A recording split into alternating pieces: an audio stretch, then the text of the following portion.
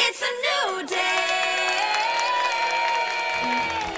This is New Day Northwest. Now, here's Margaret Larson. Hey, good morning, everybody. We're starting things off with one of the most popular shoe designers in the entire world. Steve Madden is synonymous with fashion and style, but many people don't know about the ups and downs and sacrifices he's endured to build his fashion empire. A new documentary candidly reveals the story behind the brand, told by the man himself. We're very excited to talk with him. Please welcome Steve Madden. Hey there. How are you? It's so nice to meet you. Come sit. How you doing? Great. Yeah, it's great to be here. So your your documentary is called Maddman, and that's Yes. and that's no uh, false advertising. Yes, no, it, I'm very calm now. You're very calm Yeah, now, but yeah. but what were you before? You know, when you're when you're starting out and you're building a, a business or you know, you you tend to be so focused that you Right. tend to forget about other things and other people and stuff like that. How would you describe your personality?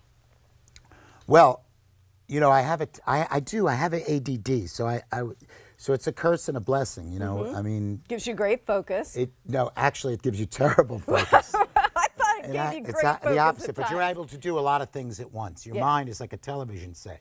So sometimes it, it's helpful in a project like mine, Mm-hmm. you know, starting out a business. But no, it's it's tough to focus. And that wasn't it. I mean, you had you had problems with drugs, you had other things going on in your life, and you are unvarnished in this documentary. What made you want to just put it out there and say, "Yep, that's me. I own it all." Yeah, I had problems with drugs. Yeah.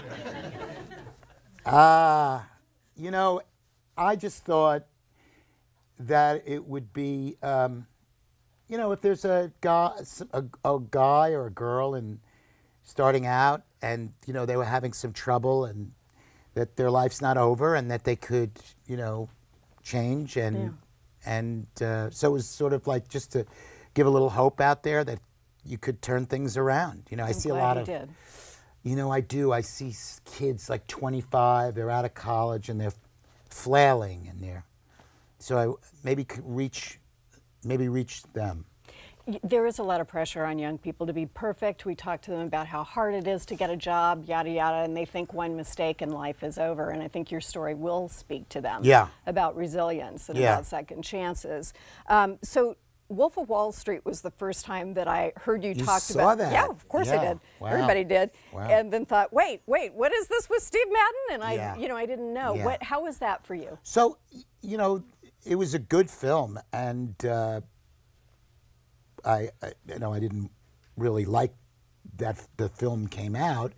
It was a part of my life. Um, it was a, it was really a great film and um, and it was my childhood friends and I and the shenanigans that went with it. Right. I mean, we don't have enough time, but you know, we know what that what that means. Uh, yes. So okay, don't get mad at me, but uh, prison for three years. For, I know it's astonishing. You weren't supposed to tell anybody. For securities fraud, money laundering. Um, Oh, my. What was that period of time like? that was a terrible period. Um, got in trouble with the guys, and you know, being greedy and stupid, and um went to prison, and um, you know, learned a lot about myself. What'd you learn? Well, I learned that money isn't everything, mm-hmm. and friendships are important, and not take little things for granted, and and stuff like that. You know, it was it was a, it was a very heartbreaking experience. Yeah, I can Yeah, imagine. see a lot of Well, I can't imagine there. actually. No, you can't. I, was- I I think you're right. But you could imagine, maybe. I mean, you know, I mean, one I could imagine know. having your freedom taken away. It was. That sounds. I mean, to Yeah. me, that seems like the worst thing possible. It Let's- is let's take a- actually. yeah. But it's not the worst. I mean, the worst. Thing, there are worse things, but that's, That's up pretty there. on- bad. um, up there on the list. Yeah. Let's take a look at a clip. Okay. I didn't even think Steve Madden was a real guy. I just thought like it was like a brand. Is he from Europe, possibly? He could be gay, but that's all right. I know he was in that movie Wolf of Wall Street. Steve Madden. Steve. Steve. No, I don't know. I, I don't really know. We don't know anything about him. Right. Who the f- is Steve Madden? A question answered in a new documentary about the Mad himself. So you're reaching out to help a lot of people who have been in trouble, been through tough times. Um, I can only guess that that's important to you because you know how it feels, but you're following through, and people talk about this sometimes and don't do it.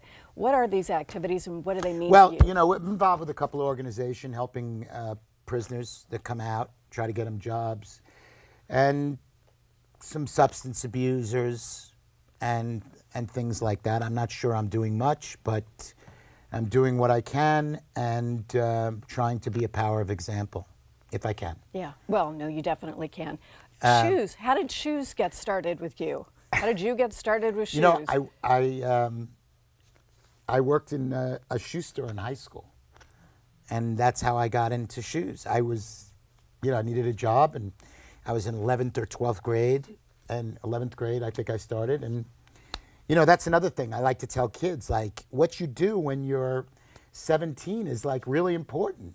I mean, what I did when I was 16, 17, it shaped my whole life. I got a job in a shoe store. So, you know, everything's important. And uh, I think one of the things is that I like to say to people is that whatever, you know, it, it seems like you, you're starting at the end, you're starting, you know, at the bottom. But, you know, it's important and take that serious and work hard and be diligent because that's the way to go. You know, that's the way to grow. And I, I notice sometimes with some young kids, they want to like start as the president of the company on the first day.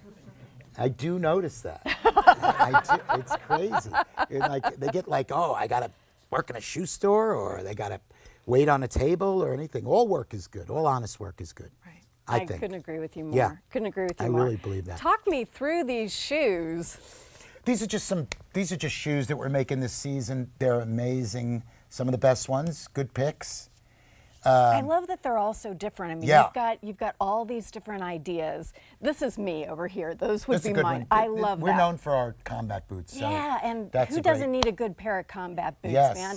So, Yes. do you love those? I do. I, I like love them. the the patent leather. I like them a lot. I like it in black leather too. Yeah, they're both great. Yeah. So, when you do you think about a particular woman or event or what sparks some of these ideas? Well, we we try to we make a lot of different types of shoes. We just try to be on trend and of the moment, and the shoes are fun and they're priced well.